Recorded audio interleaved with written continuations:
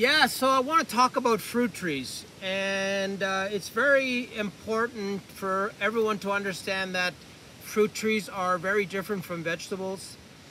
And uh, let's go through the list of what makes them so different. The first thing is that they're elevation specific. And this accounts for um, when you're developing a fruit forest or a new, a new uh, piece of property or a backyard garden you want to plant that fruit tree only once. So you need to have the height of the soil um, level with the top of the uh, fruit tree. So you need to know that ele elevation of where that fruit tree is going to go. So let's say you are starting your own backyard garden and you want to start off with uh, 10 fruit trees. You establish where they go, you pick the spots, you basically um, understand that you can't move them again, so they're considered permanent investments. A permanent location is where they end up. I recommend not putting the fruit trees really close, the same varieties really close together, so they have a chance of fighting off uh, pest and disease. Put them in the yard, but have them further apart from each other. Buy them in um, pairs of, you know, pairs or triplets or so they can pollinate correctly. Ask for help with that is if they need uh, uh, another plant to pollinate or not. So once you get past the stage of buying these uh, diverse fruit trees and you place them in your yard correctly, now you can start with the hardscaping, you can start with the uh, vegetable gardens. So if you consider the fruit trees first, as your skeleton. If you consider your fruit trees as the skeleton of your garden, you're ahead of the game. And if you have, let's say, $500, I would put everything into fruit trees. I would not start a vegetable garden. I would get the skeleton and the setup of those fruit trees ready first. We made that mistake here. We didn't focus on the fruit trees right away, and I regret that. The fruit trees would have uh, paid more dividends already if we would have focused on fruit trees first. The problem we had is we had, didn't have the uh, elevations or the grades established. We were doing a lot of hardscaping work.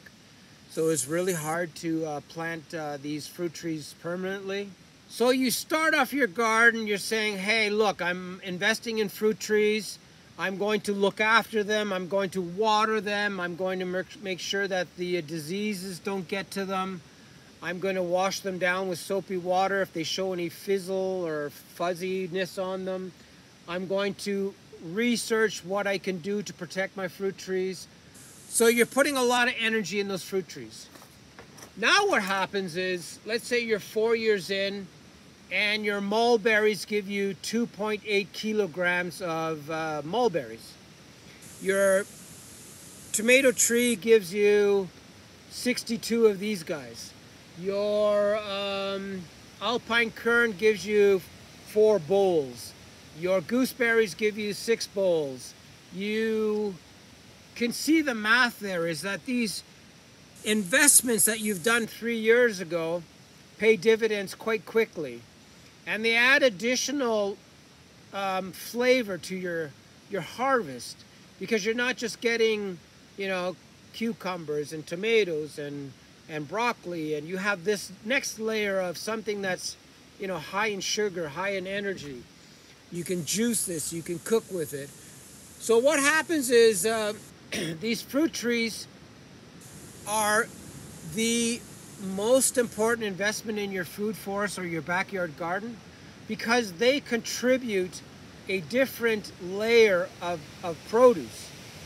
And um, if you treat them well, they will do that exponentially in the next 10 years. They will give you more and more and more produce to a point where you might not even be able to keep up with it. So if you are going to uh, build yourself a garden, let's call it building, you should really say, okay, I'm going to create the skeleton first.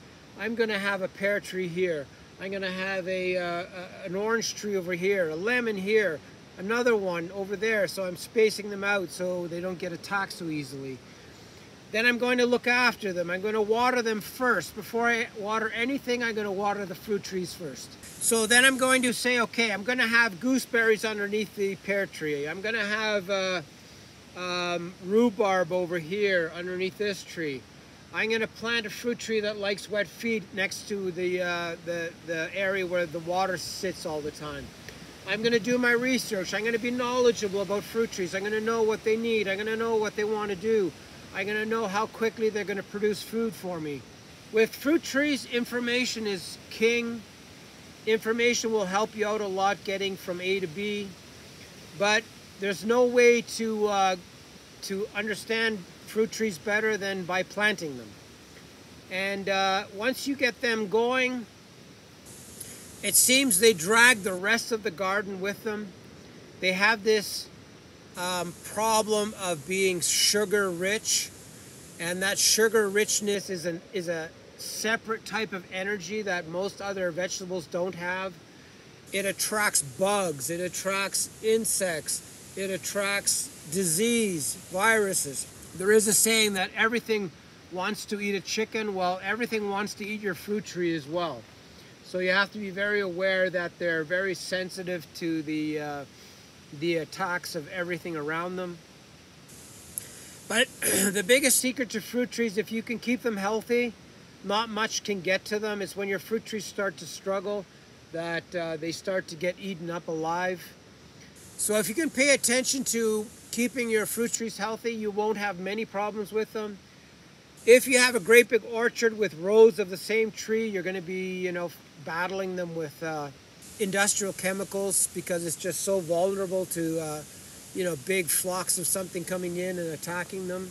So again, if you're going to start a food forest, number one, start with your fruit trees. Number two, look after them beyond anything else in your garden. Pay attention to them. Make sure they're always well fed. They've got wet feet uh, when they need it. Keep looking after them. Keep making them uh, happy. Cover their their bases with uh, smaller fruit shrubs. Make sure the sun doesn't get at them at the bottom. Um, there's lots of ways to make your fruit trees grow really quickly. I made a video discussing this uh, this problem of fruit trees, what I call just sitting there.